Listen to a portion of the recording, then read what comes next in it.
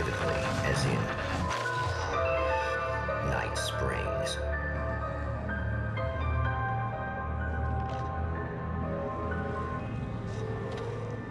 The man before you is a champion of light. He is part of a conflict between darkness and light that is both ancient and eternal.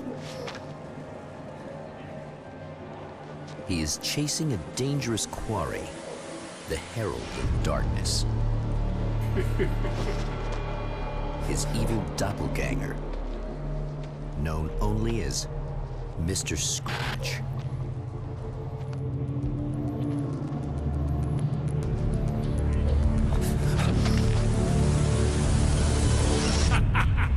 I'll catch you eventually! Maybe. But what are you gonna do then? By then, I'll have had my hands on everything you love.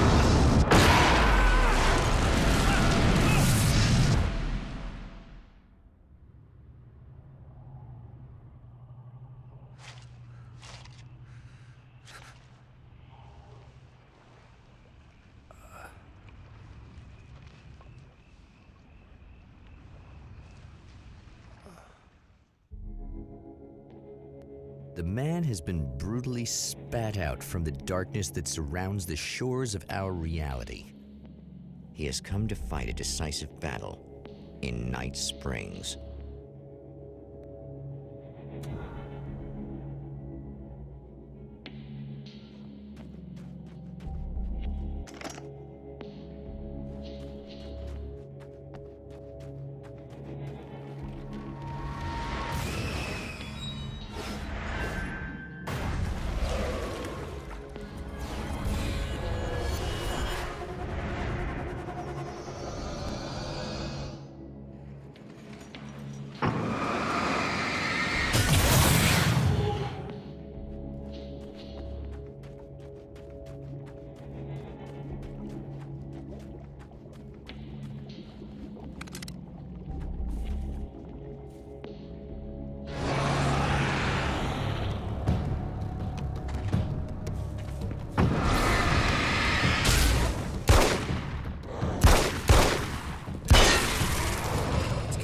That again, huh?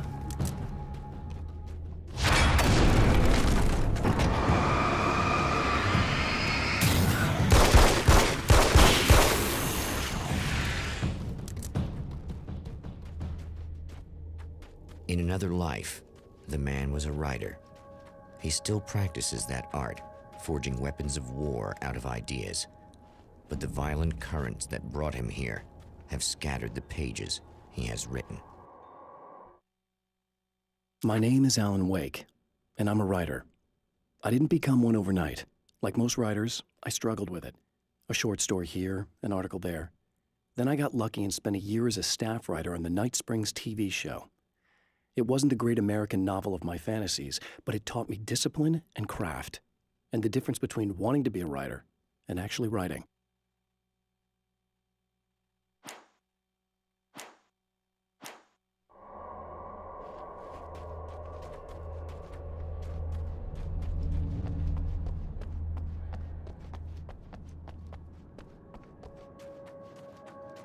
The lights of the motel promise safety.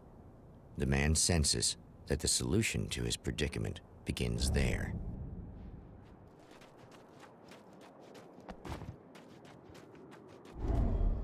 Somewhere within the Earth, space itself has been pierced, and from dark depths runs a steady flow of monsters. The man recognizes the hand of his evil double in this. He knows he must put an end to this madness.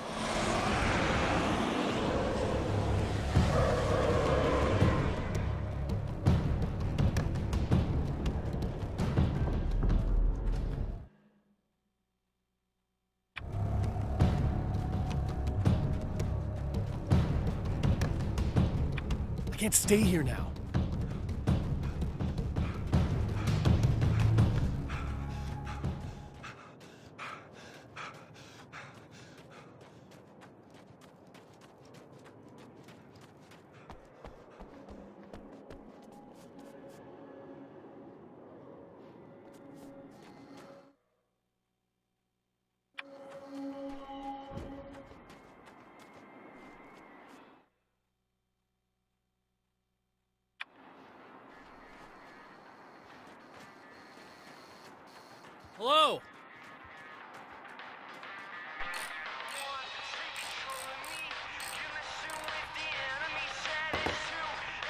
Hey, it's you. There. You remember me, right? Emma? Emma Sloan? I think you might have something that belongs to me. Really? A typewritten page? Oh, yeah, that's weird. I, I did find a page like that. I don't even know where it came from. It was all this weird stuff about the oil derrick and a satellite. Yes, that's what I'm looking for. I don't know how you knew I had it, but I, I guess it's yours. Listen, what's this all about? There are these really creepy guys hanging around the oil derricks. There's something really weird about them. They're dangerous. I'm gonna deal with them. Try to stay out of their sight, okay? And stay in the light. They hate the light. Just to be clear, you should know that we haven't actually met before. Sure, we have, Mr. Wake. Remember, you stayed at the motel here. At the oil derrick, the wheel had been jammed in place and turned until the oil gurgled and flowed thick and flammable. The warning lights were blinking in a fast rhythm, bright and steady, powered by the battery. The Kasabian CD was playing in the boombox, all distorted guitars and intense beat. High above, some piece of orbital junk or another collided with the satellite, knocking it radically off course. Trailing debris, it screamed down from the skies at an impossibly steep angle. All that high tech engineering reduced to nothing more than a bullet that would destroy whatever it hit.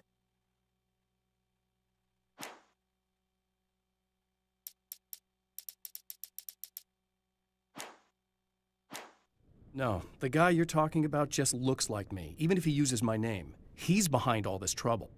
Oh, I thought, um, now that you mention it, I guess your aura looks a lot nicer than his, actually. I'm very sensitive to things like that. There's a bunch of stuff I need to find. The things mentioned on that page? Well, there's a lot of old crap lying around this place. Great, thanks. I think you should be able to find everything, except the satellite, obviously. Are you gonna tell me what this is? I don't think that'd go over too well. Why don't you let me be the judge of that? Fine. The page is a formula for rewriting reality. Either I use it to close a strange portal to a place that isn't in our world, or shadowy serial killer monster things keep pouring out of there. Yeah, you were right the first time. You can think what you want about me, but there's still bad guys around. Be careful. Well, you might be nuts, but I've seen the way they move, the way they look. I'll buy that. They're called Taken. They aren't really human. Not anymore. And they're climbing out of the oil well? What, do they have secret headquarters down there, or...? No, that's just where the point of connection is. It's a hole that leads to, well, it's a really nasty place. That's why I need to close it. And the guy who looks like you opened it, because he was hanging around the oil field before. He gets around, unfortunately. Thanks for helping me. Oh, I wish I thought you were just a nutcase. Actually, I kind of expected you to. Me too. But I feel like this is how it's supposed to go. Isn't that weird? Not really. I get that a lot in my line of work. What do you do anyway? I'm a writer. Obviously. What was that you said about my aura? Oh, I'm very spiritual, you know. I can see auras, but I only use it for healing and helping people.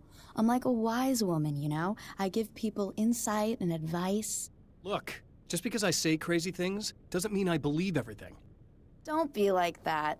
Maybe you should take a few crystals with you if you're going out there. It might be dangerous. They soothe your energies and focus your mind. It's fantastic. And they help me take out the bad guys? Oh, well, no, not as such. Yeah, okay. I think I'm. Or I have some wonderfully potent herbal detox suppositories. Yeah, I'm good. I'm good.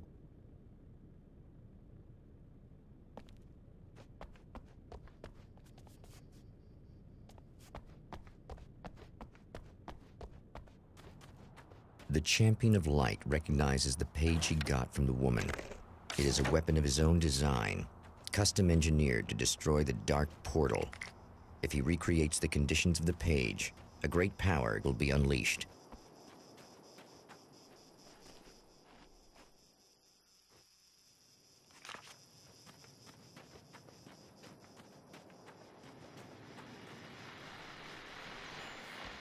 Oh, hell. This isn't gonna be good. Is this on? How can you tell? I'm sorry, I'm not very good with gadgets.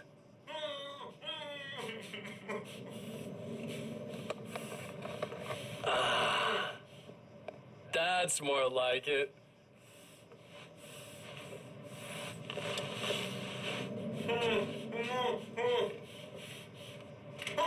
I'll be right with you. I just gotta do this one thing.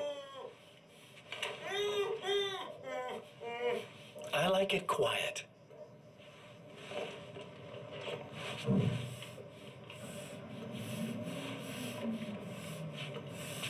I bet you're wondering why this is happening. Why am I doing all this? Why am I so hell bent on ruining your life? You're cramping my style. You've got money, fame, everything you could want. But you don't know what to do with it. I do.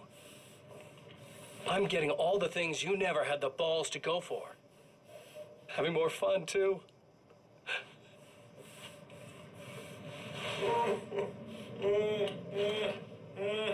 Do you know the real difference between us? I'm not afraid to be the center of attention. This poor slob's just collateral damage, really. I mean, beat some information out of him earlier. But this part? This is just for kicks.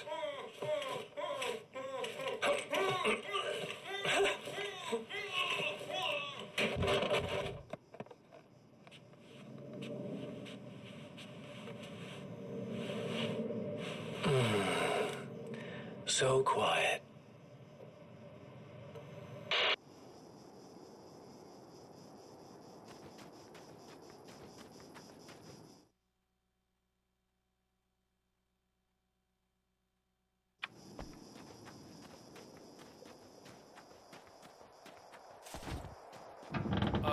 Wait. Wait! Whoa!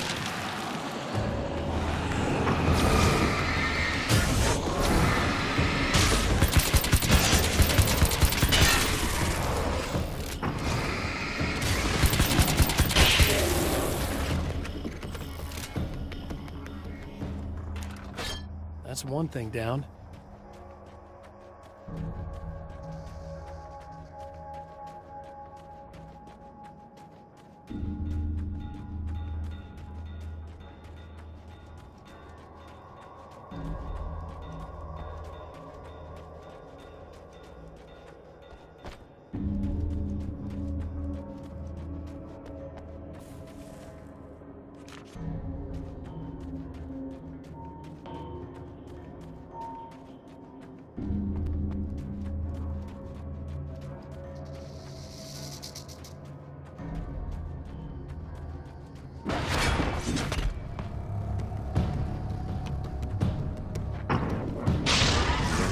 Tears itself in two to avoid the hated light.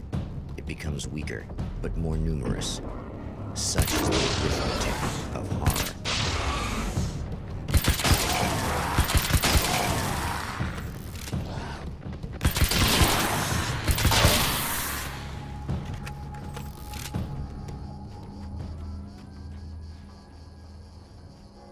That was just messed up.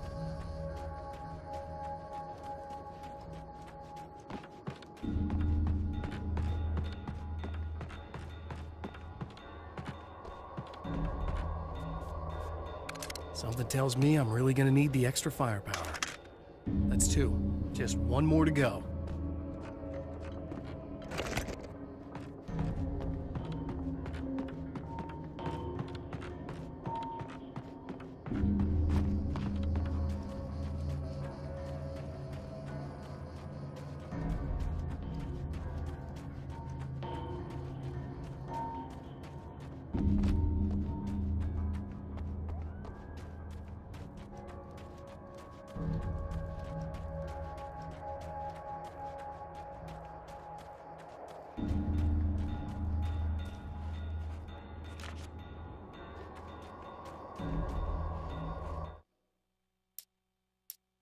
Some of the Taken aren't protected by the darkness like their comrades.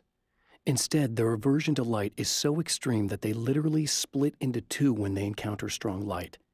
It leaves the two halves weaker, but of course, there's strength in numbers. It's a disturbing development. The dark presence I faced two years ago was powerful, but it didn't have much in the way of imagination.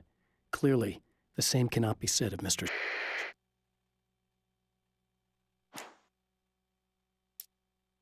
To change reality, you nudge it into the right direction. Your version of it is there, waiting. It wants to come true. All you need to do is help it achieve its potential. The devil is in the details. You change the details of the scene to match those on the page. If you get the details right, if you achieve that critical mass, the shift will come, and the rest of your new reality overrides the existing paradigm. The lie, no matter how outrageous, is now the truth. The reality we take for granted is softer, more adaptable than we think. Under correct conditions, you can reshape it, turn it into almost anything you want. When it happens, almost nobody notices. It's not that we forget, it's that after the change, there's nothing to remember. Only those who have been directly touched by the powers that can shift reality are aware of the changes. Many are driven mad by it, others can cope. I'm one of those people and I know how to wield that power to rewrite reality.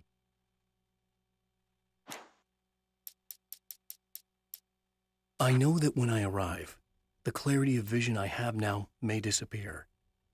I've made my plans. I've prepared for this, but I know the transition from the dark place will be hard on me, and not just physically. It may affect my mind, my memory. These pages should help me remember and focus. That's worked for me before. Even if that fails, I think I will be able to trust my instincts. I'm navigating my own story. I'm hoping I'll know where to go and what to do, even if the details elude me.